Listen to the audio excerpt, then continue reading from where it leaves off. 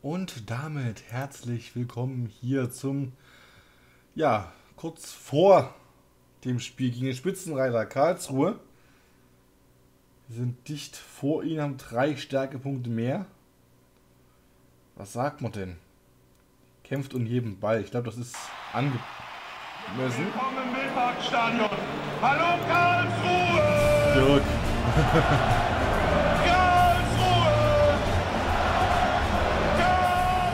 Karlsruhe! Und damit auch hier herzlich willkommen im Wildparkstadion zum Zweitligaspiel, 23. Spieltag. Karlsruhe SC gegen Rot-Weiß Erfurt. Ja, der Captain hier der Mannschaft. Ah, ne, ist er gar nicht. Ist er gar nicht.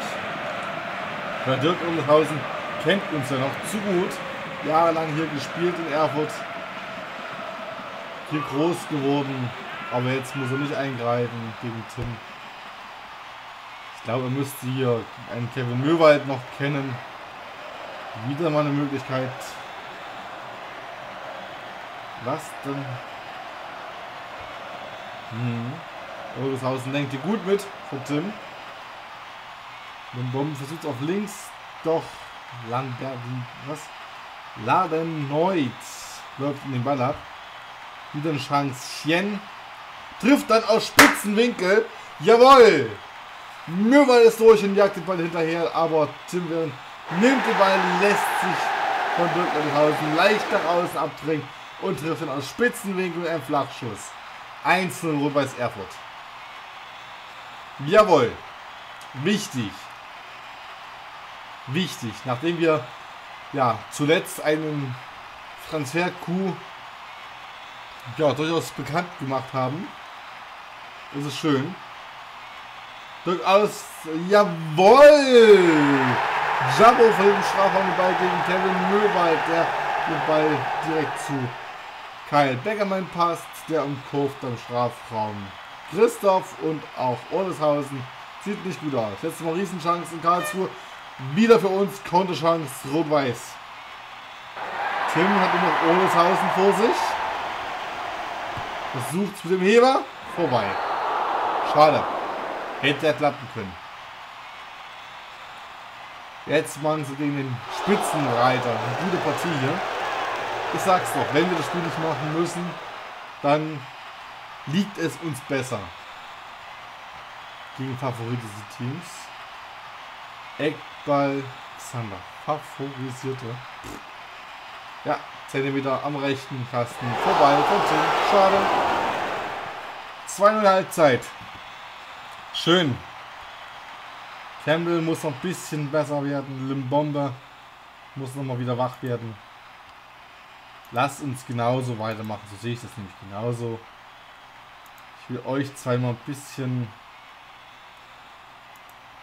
hier gerade die Erfahrenen jetzt mal die guten Spieler mal loben. Warum auch nicht? Und weiter so, sage ich mal. Das war vielleicht gar nicht so gut, weil ich das Karlsruhe jetzt im Spiel war. Aber wir gehen.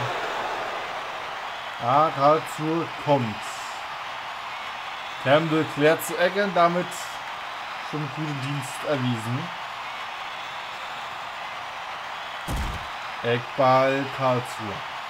Man will natürlich zu Hause nicht hier vom leichten Außenseiter zurückdrängen lassen. Jetzt sind wir dran.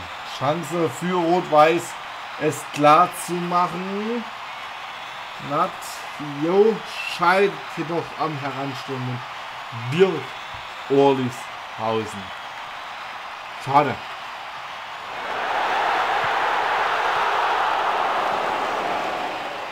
Gelbe Karte jetzt für Jabo.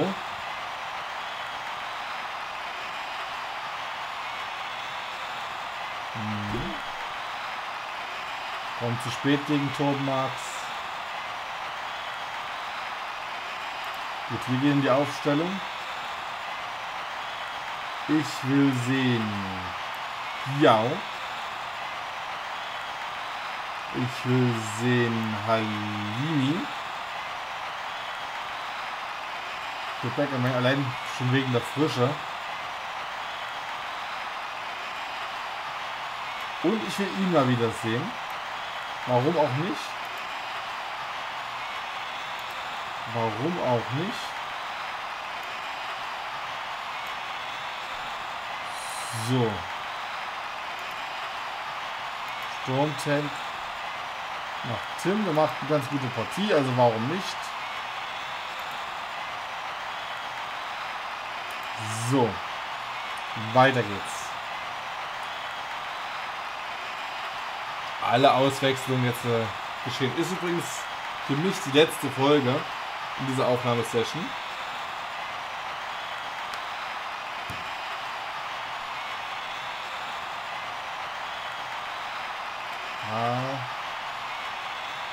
Aber ist ja noch ein bisschen hin. Wir sind ja erst in der sechsten Minute der Aufnahme ungefähr. Jetzt noch für uns die Möglichkeit. Trautkritsch vorbei. Jau flankt mit überraschend nah fürs Tor. Dann heran, Kopfball. Setzt diesen aber knapp daneben. Ist bekanntlich auch vorbei. Nochmal Flanke Jau. Diesmal hat Dirk Ollaus. Dirk Orleshausen vorher pflückt ihn runter. Machen mich ein bisschen leise auf oh Gott. Jau verpasst den Strafraum, passt in die Mitte zu Tim, der zwei mit einschiebt. Doch der Junge findet, befindet sich vorher im Abseits. Die Entscheidung gewesen. Yamada kommt jetzt raus für Mast. Okay. Das heißt, unser junger, junger alter Sack, Max, kann sich hier so Mast kümmern dass er nicht irgendwie mal einen kleinen Geniestreich rausholt. Max fängt sich auch gleich mal gegen Jabbo eine gelbe Karte ein. Okay. Ja, kann ich mir gut vorstellen, die zwei. sind zwei, die körperlich nicht unbedingt zimperlich sind. Jabbo geht auch gleich raus. Ein junger Spieler kommt rein. Levi Junge 62, auch nicht so verkehrt. Ja, zu voll und jetzt, aber zu umständlich letztlich. Ja. Mast vorbei. Dann haben wir jetzt Rauer, Krebs kommt jetzt vom Park. Das heißt für Yilmaz kommt ein neuer Gegenspieler. Krebs hat ganz schön abgebaut, finde ich. Habe ich stärker im Hinterkopf, aber gut gesagt. Riesenchance jetzt Karlsruhe für uns. 5 gegen 4 über Kevin Möwald. Tim hat nur noch für Olshausen vor sich. Querpass auf Diao, der noch einschieben muss.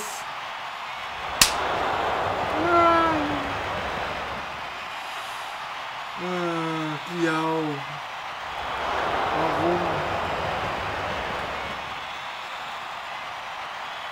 Tut deiner guten Note nicht gut, das weißt du, Diao.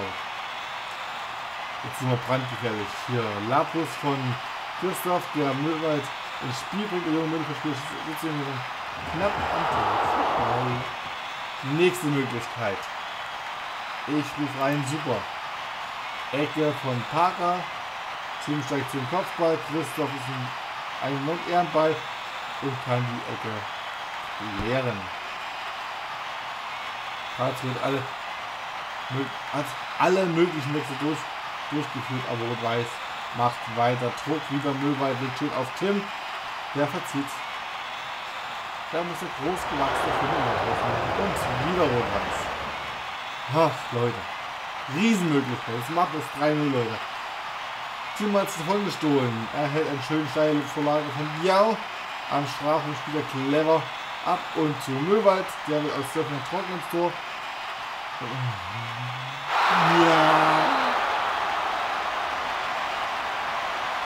Kevin. Wir schaffen es mal wieder komischerweise nicht jetzt noch ein draufzulegen. Das legt sich mit Yilmaz an. Möglichkeit etwas ungenaue Eingabe von Yao, aber Tim bekommt aber trotzdem irgendwie Richtung Tor. Ja, Dirk Olshausen ist vor Ort. Müsste es trotzdem gewesen sein. Wir führen mit 2 zu 0 so. Jetzt wird auch immer ungefährlicher, aber Zwei Minuten Nachspielzeit. Das sollte es gewesen sein. Nochmal eine Möglichkeit für uns. Schlussphase, nochmal Angriff von Erfurt. Tim mit einem weiteren Ball im Strafraum unter Kontrolle. Verfehlt aber. Gut. Das muss es gewesen sein. Schluss für vier in Karlsruhe. Wir gewinnen verdient, kann man jetzt wirklich mal sagen. Mit 2 zu 0. Und Dirk Ulleshausen noch der bessere gewesen. Bei uns war es Giau, naja. Naja. Auch Möwer zwei Vorlagen, schön. Die Ergebnisse. Aue verliert gegen Hannover 1 zu 3. Erfurt gegen Karlsruhe im Wildparkstadion mit 2 zu 0 gewonnen. Spielvereinigung Kräuter Fürth besiegt Sandhausen 3 zu 1. Bochum gibt Augsburg eine Klatsche und 5 zu 0. Leipzig gegen Eintracht Braunschweig 2 zu 1. Dynamo verliert wieder. Diesmal 0 zu 2 zu Hause gegen Ingolstadt. 1860 und Paul trennen sich unentschieden mit 2 zu 2. Union gegen Düsseldorf 1 zu 2 und Bielefeld gegen Aalen 0 zu 1. So, ein Blick auf die Tabelle verrät 38 Punkte, Punkt gleich mit Fürth. Ein Punkt vor Pauli, die es leider verlernt haben, für uns zum Glück äh, zu gewinnen. Jetzt einige Unterschiede hier in Folge. Augsburg ist unser nächster Gegner. Jawohl, bei uns zu Hause. Übrigens 3D-Spiel. Und dann hier könnten wir sogar noch mal rankommen. Wenn wir ganz viel Glück haben, könnten wir noch mal rankommen an den Relegationsplatz. Es sind 10 Punkte, das ist eine ganze Menge Holz. Aber im Abstieg haben wir nichts mehr zu tun, das ist sicher. Wir haben trotzdem meines Erachtens das sehen wir auch hier, wenn wir uns die Spitzenplätze hier angucken, Hannover, Karlsruhe und Düsseldorf, zu viele Gegentore bekommen. Dasselbe Problem hat auch 1860 und Augsburg. Tore schießen, okay. Da können wir vorne mit anstinken, da ist Augs, nur Augsburg und Hannover besser. Aber ansonsten, ja. Die Stimmen was sagen wir, der unbedingte Wille, ein Tor zu erzielen zu wollen, hat gefehlt. Und dann in den Gegentoren müssen wir einfach besser verteidigen. Der FC Rot-Weiß Erfurt hat dann die individuelle Klasse, dies zu nutzen. Sebastian F., ein Fan aus Erfurt, Tore schießen, keine kriegen. Seit langem mal wieder, wenn wir ehrlich sind. Wir können mal ganz kurz die Ergebnisse mal durchgehen. Hier haben wir ein Tor gekriegt. Also 1, 2, 3, vier, vier Spieltage mal ohne Gegen nur ein Tor gekriegt. Das ist nicht gut. Das ist gar nicht toll.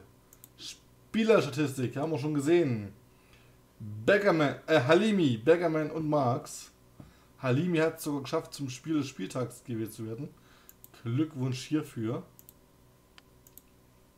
Teamleistung, hier befinden wir uns ja nicht, mal, nicht ganz unten, wie jetzt äh, Augsburg, sondern endlich mal wieder oben. Wo wir auch ja, hin müssen, hingehören. Oh, haben wir böse Verletzungen hier einzufangen. Die arme Sau. Ja, Kreuzbandriss ist nicht zum Lachen. Hannover war der erfolgreichste Team im Winter. Ja, ist doch schön. Unsere zweite verliert wieder. Das ist nicht schön. Wir sind beim Transfermarkt, Leute. Auf Platz 1. Auf Platz 1. Wenn das mal nichts ist. Haltet euch fest. Schön, oder? Und vor allem ablösefrei. Ablösefrei. Oh. Jemand akzeptiert, Schröck lehnt ab. Schade. Parker freut sich auf gute Duell, das glaube ich. Halimi hat neue Erfahrungsstufe, sauber. Besa Halimi jetzt mit der 73 schon wieder. Das ist. Na gut, da spielt die Moral und die super Form mit rein. Aber ansonsten auch hier, wenn wir uns mal an die Grundstärke, die 69, beziehungsweise die 71 durch die Erfahrung noch minus 2, ist schon brachial. Wie sieht es denn bei ihm Trainingsziele aus? Nur wichtige mal reinnehmen. Schusskraft, Beweglichkeit muss er nehmen. Oh ja. Dann nehme ich das mal weg und nehme mal die Beweglichkeit mit rein. Da muss noch ein bisschen mehr kommen vom Beser. Das wird auch mal jetzt ein Hauptaugenmerk werden. Ballkontrolle. Das kann er mal auf eine 90 hochpeitschen. Er ist erst 20. Und ich hoffe echt. Äh, können wir kurz sehen, welche Durchschnittsnote? 3,17. Ah, da muss noch ein klein wenig mehr kommen. Da brauchen wir noch ein paar Einsätze. Dass er so über diese Schnitt von 2, noch irgendwas kommt. Und dann kann er durchaus noch Talentpunkte zugewinnen. Mannschaft der Woche. Hier können wir jetzt auch mal mit den Leuten reden. Alles Leute aus dem Mittelfeld. Halimi können wir nichts sagen. Schade eigentlich. Beckerman auch nicht. Torben wahrscheinlich auch nicht. Nein. Parker freut sich auf Duell gegen seinen Bruder. Das ist klar. Jemand akzeptiert. Schön. Er lehnt ab. Können wir trotzdem nochmal? Nein, okay. Kein Problem. Trainingslager beendet und Scouting abgeschlossen bei Bochum. Team A-Jugend. Hier will ich irgendwo mal gucken. Deswegen lasse ich sie ja scouten. Ob die hier ein paar Juwelen drin haben, aber irgendwie. Hm. Düsseldorf. 1860 hat eigentlich immer mal was dabei. Aber ihr seht ja, nichts gescoutet, nichts und gar nichts. Wen haben die in der zweiten? Selbst da wissen wir nicht wirklich was. Das ist schwach bis traurig. Hier in der ersten, das ist natürlich klar. Hier unser Backspieler. Das kriegt er von mir auf. Wie jetzt? Jetzt wechselt er zu Salzburg.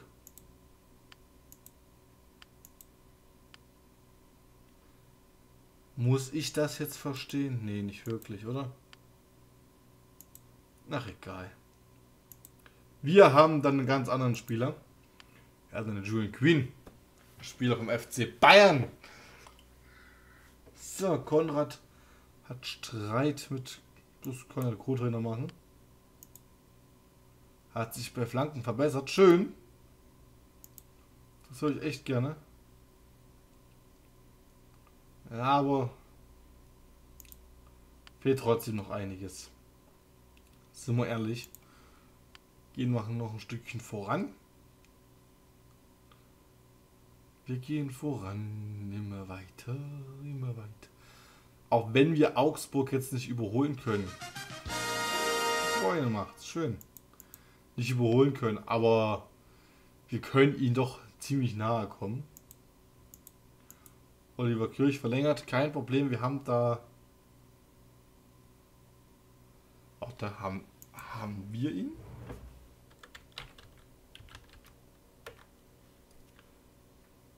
Hamburg. Ich weiß es jetzt. Ja, haben wir schon sicher. Weil wir durch die ganzen Spielabstürze heute war ich mir jetzt echt unsicher.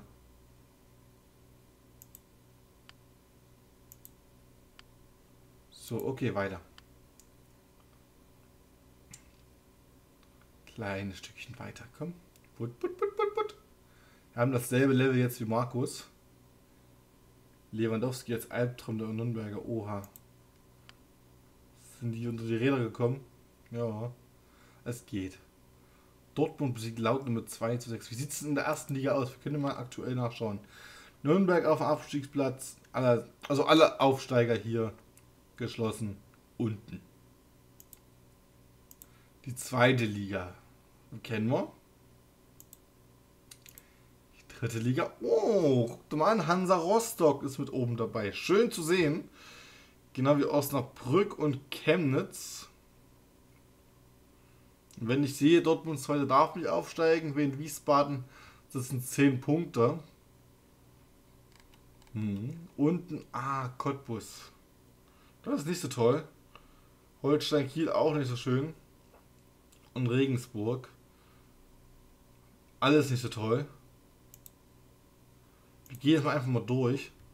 Nordstedt sagt mir gar nichts, bin ich ehrlich. Oldenburg als Aufsteiger, okay. Regionalliga Nordost, das ist Herthas Zweite. Da würde ich mir tatsächlich noch wünschen, dass es Magdeburg oder Babelsberg schaffen würde. Wir müssen entgegen aufpassen, dass wir nicht hinter Jena rutschen. Regionalliga West. Sportfreund Leute, das ist in Ordnung.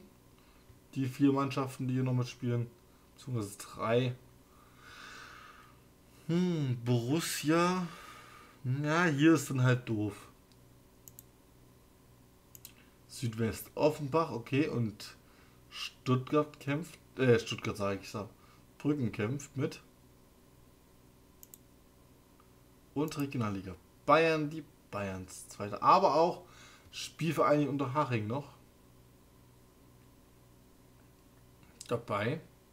Illertissen so ganz im Mittelfeld. Azemir wird verlängert, okay. Ja, ist richtig, dass sie das machen. Das ist richtig.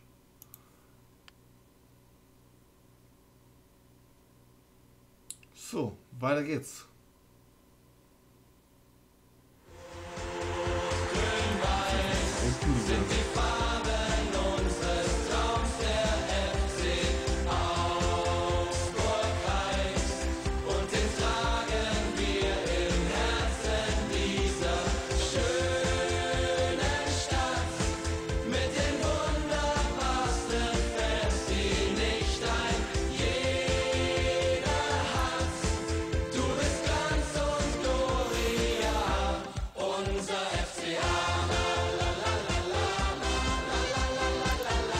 Lala, ja. Sean Parker war diese Saison bereits 21 Mal erfolgreich. Das heißt, sie müssen ihm wirklich jemanden auf die Füße stellen. Hilft nicht. Zimmermann für Camden. Allein der Form ist wegen. Was willst du denn hier? Er ist endlich, dass er noch ein bisschen Zicken macht. Jetzt. Gut. So, Limbombe. Hm. Wir gucken uns noch die Form an. Hier, oh. Ähm, da fällt es mir nicht schwer. Allein bei der Form schon. Hier fällt es mir weiterhin schwer. Halimi. Oh, diese. Er wird in der zweiten Halbzeit wieder reinkommen. Auch wenn er jetzt schon eine super Form hat, er kommt in der zweiten Halbzeit. Ich kann es einfach nicht erlauben, ähm, einen Möwald, einen stabilen Möwald, sagen wir es mal so. Wenn er jetzt eine schwache Form hätte, dann okay, aber so will ich es mir nicht erlauben, ihn rauszunehmen. Auch Zimmer hat gerade eine starke Form, das ist gut, das ist schön. Und ich glaube, nächstes Jahr wird man Mike mal ausleihen. Popband. Eine zurzeit sehr beliebte Popband ist in der Stadt und glücklicherweise tritt sie zeitgleich zum nächsten Heimspiel auf. Die Nachfrage für die Karten sinkt um 10%. Er holt sich wieder einen Muskelfaserriss. Gut. Kyle Beckerman hat sich mit der neuen Situation sehr gut zurechtgefunden. Er gewinnt eine zusätzliche Spielerstärke. Schön. Gefällt mir. Gefällt mir wirklich. Er hier braucht einen neuen. Na gut, Limbombe ist gerade nicht so in Topform. Malte. So. Und tschüss. Ah, hier haben wir sogar noch zwei, die Tschüss sagen können. Ist nicht das Problem. Tschüss. Im Tschüss sagen sind wir Weltmeister. Gelle. So. Das ist unsere B-Jugend, Leute. Guckt euch das mal an. 54, 50 ein. Die könnten Oberliga könnte es schon Bestand haben. Vor allem er hier. Nicht schlecht, der Specht. So. Hier, du. Geh bitte nochmal nach unten. Nach Hause. Tschüss. Ja, hier haben wir echt ein Stürmerproblem mit der B-Jugend. Äh, in der A-Jugend. Da muss noch jemand hin. Jemals jetzt eine 60. Damit sogar besser als Dahlmann. Na gut. Dahlmann. Undankbare Aufgabe für ihn. Er muss ein bisschen robuster werden. Hat er denn Trainingsziele? Ich überschneide schon mal wieder voll und ganz. Aber aufgrund dessen, dass danach eine Pause kommt, für mich, muss ich jetzt vorbereiten, was geht. Ähm, machen wir mal so. Spielergespräche. Das körperlich stärker werden. Nimmt er an, okay. Ah, hier muss ein bisschen was kommen. Ergebnisse sind nicht ganz so pralle. Gegen wen spielen sie als nächstes? Gegen Wacker Nordhausen. Thüringen Derby. Ja. Gut, vorbeiziehen können sie aufgrund des Torverhältnisses nicht, aber sie könnten wenigstens punktetechnisch anschließen. Na gut. Gehen wir in die Hier würde ich sogar glatt sagen, ich gebe einen kleinen Pony mit. So. Vergleich. Gehen wir rein. Michael. Oh, das ist hart. Sander auf Werner. Mary.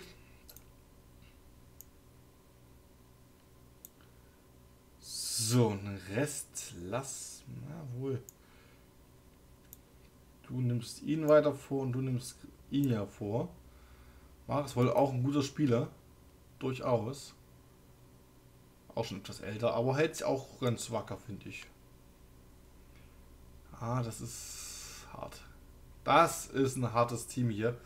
Das gilt es auch erstmal zu knacken, aber das möge die Sorge vom Zukunftsrobot sein. Wir gehen die Aufgaben nochmal durch. Nach Stärke. So, Beckerman wird im nächsten Jahr dann Kapitän werden. So. So. Freistöße von links, okay. Von rechts Wieso Camden? Wieso soll Camden machen? Was ist das für ein Blödsinn? So, passt das schon besser. Dip und Dip. Ecken. Okay. Okay. So, Hammer. Scout-Bericht. Hat bislang noch nie eine Nationalmeisterschaft gewonnen. Im Laufe der Saison steht die Mannschaft nach 23 Spieltagen auf Platz 5. Die Mannschaft insgesamt ist derzeit nicht besonders gut in Form, aber konditionell ist das Team stark. Torhüter Gomez ist zurzeit ein Schwachpunkt des Teams, gut zu wissen. Das größte Talent scheint Sean Parker zu sein. Er ist allerdings vertraglich langfristig gebunden. Am Arsch! Besondere Gefahren. Sean Parker ist diese Saison der Liga bereits 21 Tore erzielt. Äh, Roll Blub ist besonders kopfballstark und Baba gilt als extrem harter und zweikampfstarker Verteidiger. Daniel Bayer ist Spezialist für präzise Vorlagen. Er kann ein Spiel alleine entscheiden.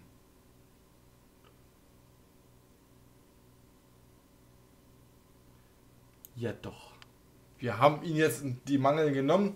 Mehr können wir nicht machen. Das heißt, Spiel speichern unter. Let's Play Erfurt. Speichern. Oh, gut. Das heißt für mich, ich gucke mal die Zukunftspläne noch. Wir haben eine halbe Stunde. So jetzt Augsburg, dann Sandhausen, die werden sogar schon als grün dargestellt, okay. Dann Braunschweig, Pauli, Aalen, Hannover, Ingolstadt, Dresden, Düsseldorf, Union Berlin 1860. Und das war's. 3D-Spiele werden Augsburg, Hannover, Dresden, allein weil es Ostderby ist. Weil es ein gutes Ostderby ist. Und dann 1860 zum Abschluss nochmal. Gucken wir nochmal in die verliehenen Spieler rein. Wird sicher gewünscht. Ja, Van Bergen kommt auch zurück. Schön. Preuß auch. Schön. 90 Tore gemacht. Er hat sich ja verbessert hier. Der Deutschstädter, der ist gut. Der ist gut stark geworden. Jungmann, ja. Tim Meyer und Bender. Der Deuting hat sich echt gemausert.